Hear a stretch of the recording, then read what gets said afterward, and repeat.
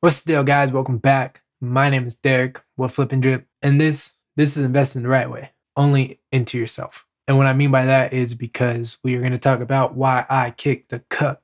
Yes, the coffee cup. And you know, it hasn't hasn't been that great. Uh, get headaches and stuff like that, but I know long term effect is going to be better. And the reason I kicked the cup is because I just feel like it's too much of a controlled substance and pretty much the perfect marketing tool or product because it's cheap and it's highly addictive. So the profits are insane. So for me, I, I'm just a person that doesn't like to feel like I'm getting taken advantage of. And every time I drink coffee, I feel like I'm helping myself, pushing myself forward, or you know, using a cheat code. But in all reality, it, it never makes me feel that good, like inside. It always fucks up my systems.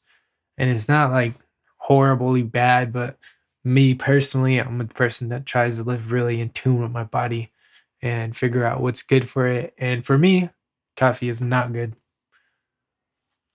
I mean, I love the effect, but I don't think coffee is good to my body. It might be to some. I don't know. Barely YouTuber, not a doctor. Barely YouTuber. I can't stress barely enough. But yeah, so I kicked the cup.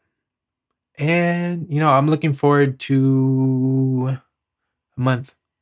I'm at like 12 days, 10 days, 12 days, 15 days, 10 to 15 days around there. I'm not too sure. Around two weeks. Uh, it was getting better. Definitely getting better. I have headaches still though. And yeah, it's it's not great. It's not bad, but I just try to stay active even if I'm tired because I know I could uh I know your mind ultimately sets the pace for everything. So I'll probably do another video updating you guys on this whole kicking coffee out of my life and routine and see how it changes me. Hopefully, hopefully I'm going for a more motivated mindset and more go-getter mindset after the detox away from coffee because it's going to be natural energy instead of art artificial energy. You, you, you get me? But it is what it is. I'm still working hard, pushing out two videos for you guys every day, helping you guys mentally, physically, financially, emotionally, spiritually, you name it. I'm here for you. We talk about it all.